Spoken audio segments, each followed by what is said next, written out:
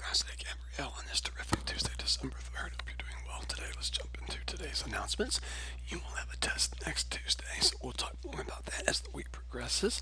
You have nothing to turn in, and you have no incompletes. Now, today we're going to simply work on homework that covers what was taught yesterday, okay? So here's the assignment. It is pretty long. And here is the help video here, which is pretty long. However, you do not need to finish this assignment today. Giving you today and tomorrow to finish it. We will do nothing today and tomorrow except work on this assignment, okay? Also, Gabrielle, when you look at this assignment, notice there are some letters like 25 do letters E only, 41 do A, B, and D only, 55 do A only, 56 do A only. So make sure when you copy down this assignment that you copy it down carefully. Okay?